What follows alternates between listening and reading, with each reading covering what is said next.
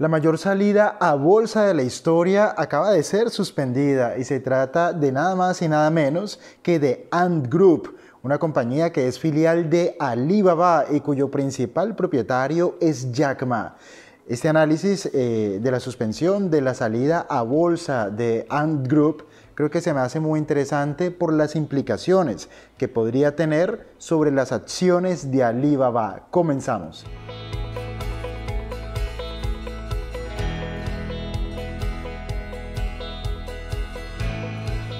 La bolsa de Shanghai ha pospuesto la oferta pública inicial o la salida a bolsa inicial de la compañía Ant Group, tan solo un día después de que algunos organismos reguladores convocaran a Jack Ma, quien actualmente es su principal accionista, y a otros altos ejecutivos para una reunión a puerta cerrada. Esta reunión con los reguladores y algunos otros cambios en torno a su salida a bolsa han provocado que esta IPO sea pospuesta, se comentó en un comunicado el pasado martes. Los acontecimientos recientes son acontecimientos relevantes para los mercados, ya que podría ser que toda la información no ha sido revelada de manera correcta a los inversionistas. Se esperaba que Ant Group, que en la actualidad es la startup tecnológica más valiosa del mundo, recaudara durante su IPO aproximadamente 34 mil millones de dólares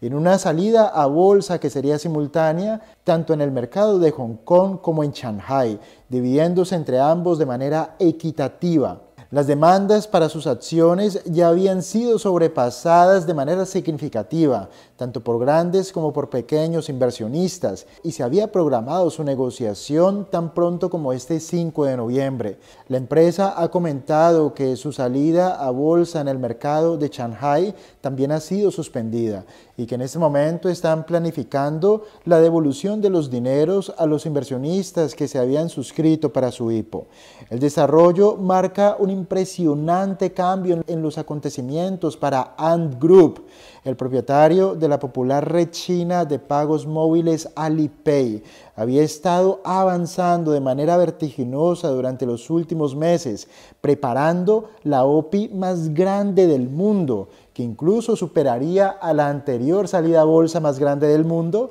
que fue la de la Saudí Aramco por valor de 29 mil millones de dólares.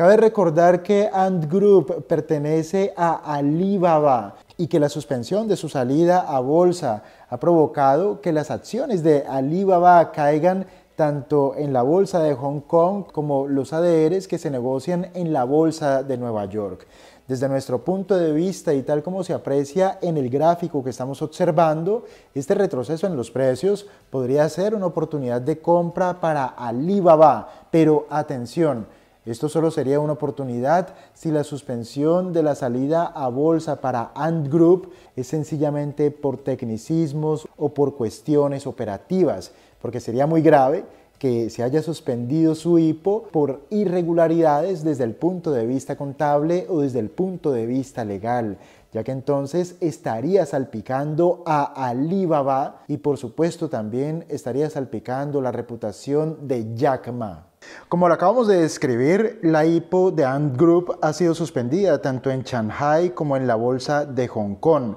Esta salida a bolsa implicaría desde el punto de vista patrimonial para Jack Ma que de facto se convertiría en una de las cinco personas más ricas del mundo. Jack Ma en este momento ya es la persona más rica de China, pero entraría al top 5 de las personas más ricas del mundo pero, sin embargo, la suspensión ha provocado todo lo contrario y es un efecto adverso sobre las acciones de Alibaba que cayeron entre un 6 y un 8% este martes 3 de noviembre. Aquí lo más relevante es lo siguiente y ya lo comentamos durante el video. No pasará nada si esta suspensión ha sido provocada sencillamente por algún tecnicismo legal, eh, se han pasado por alto alguna cuestión o sencillamente es una cuestión operativa, pero sí que eh, parece bastante raro que los reguladores previo o un día o prácticamente un día antes de su salida a bolsa hayan decidido tener una reunión privada con los principales accionistas, porque si llegase a ocurrir que estamos ante el mínimo rumor de que se trata de un fraude contable o algún tipo de falsedad o algún tipo de falta de transparencia en las cuentas de Ant Group, esto, esto podría salpicar a Alibaba y, usted, y todos sabemos que la cuestión más importante en los mercados financieros, lo que sostiene a los mercados financieros es la confianza. Si alguna de estas cosas llega a ocurrir, se pierde completamente la confianza y esto perjudicaría incluso de manera fatal a la cotización de cualquier valor, no solamente a la de Alibaba. De todas formas, si yo observo el gráfico, y pensándolo mejor que es simplemente un tecnicismo una cuestión operativa, una cuestión de forma, el retroceso en Alibaba es una oportunidad de compra, pero